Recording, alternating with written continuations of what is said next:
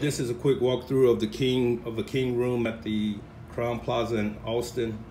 I booked this room using uh, my free night from the IHG rewards card. Um, as you come into the room, you have a sink.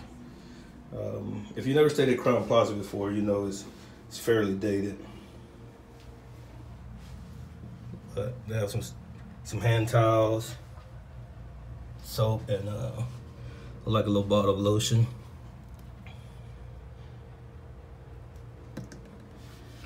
There's a hair dryer, and also one of those uh, mirrors where you see all your pores.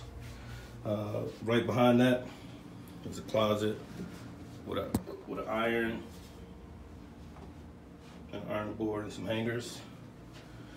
Directly to the side of that is a small bathroom, like so small that I have to close the door just to get just to get into the tub. Nothing, nothing special about it at all.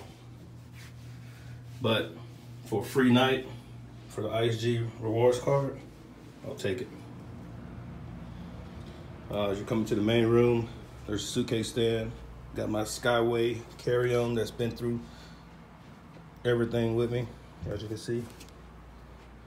Um, there's the king bed with my Panama hat for tomorrow for the uh, state track meet down at UT in the corner, they shoved a desk in there. Um, a desk, then a nightstand. It's, it's kind of small, real small area.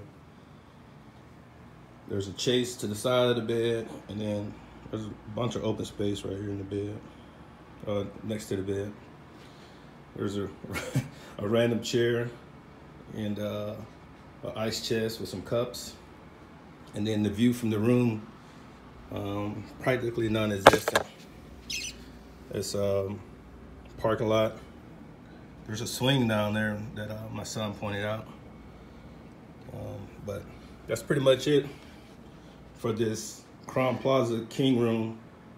Um, but like I said, for for a one night stay, a free one night stay, it isn't bad.